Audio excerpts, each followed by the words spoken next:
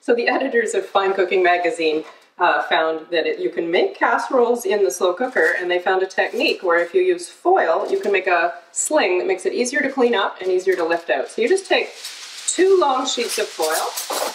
You've already got your foil collar in the back to prevent burning. And you put one in one direction. And I do it shiny side in to reflect the heat in to help cook.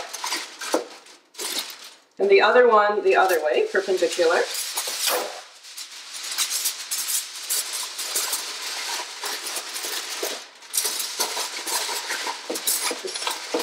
Fold it in as best you can. And then before you put the food in, spray with cooking oil spray, which will help the food just lift right off. Then you put your food in, your casserole, your strata, put the lid on.